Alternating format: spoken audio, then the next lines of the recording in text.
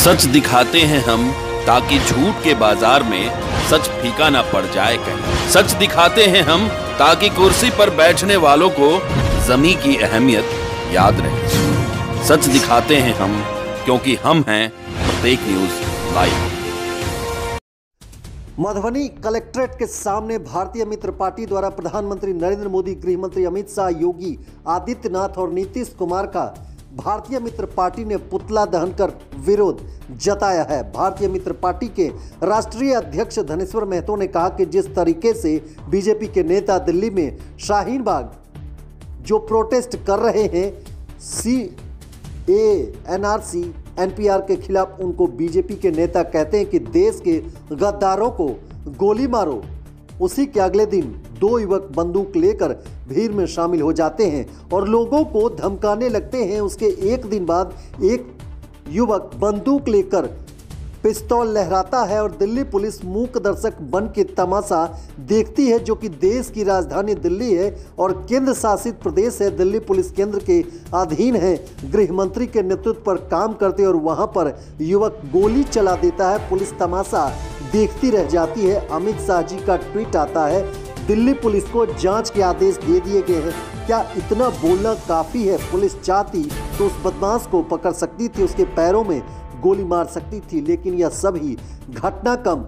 Police प्रशासन की मौजूदगी में और कुछ हाथों की मीटर की दूरी पर पुलिस तमाशा देख रही थी। इसका मतलब है कि शाहीन बाग में जो गोली कांड हुआ है, वह भाजपा के आरएसएस के इशारे के ऊपर हुआ। दूसरी ओर भाजपा के लीडर बयान दे रहे हैं कि किशनबाग में जो प्रोटेस्ट कर रहे हैं, वह दिल्ली को सीरिया बनाना चाहते हैं। सीरिया तो वह मासूम लोग नहीं बनाना चाहते हैं, लेकिन आरएसएस के लोग, भारतीय जनता पार्टी के लोग उसे ज़रूर सीरिया बनाने की कोशिश कर रहे हैं। दिल्ली में शाहीन बाग के अंदर एक युवक रिवॉल्वर लेके घुस जाता है प्रोटेस्ट के अंदर। और उसके अगले दिन कल आपने देखा होगा किस तरह आरएसएस के आतंकी ने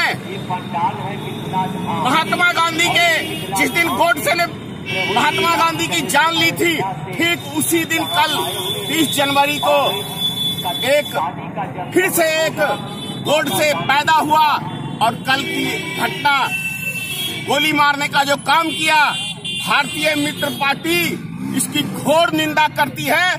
और एक बात कह दूँ मैं आपसे कि आरएसएस संगठन एक आतंकी संगठन है, जिसका आज़ादी के बाद जब महात्मा गांधी को गोली मारा गया था, उसी टाइम उस संगठन को प्रतिबंध करने का काम लो पुरुष सरदार वल्लभ भाई पटेल ने किया था।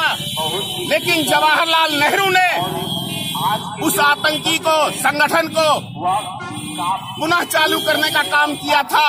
और उसी का रिज़ल्ट है कि कल से, कल फिर एक गोड से भारत के अंदर पैदा हुआ और ऐसे गोड से को चौराहे पे फांसी देनी चाहिए।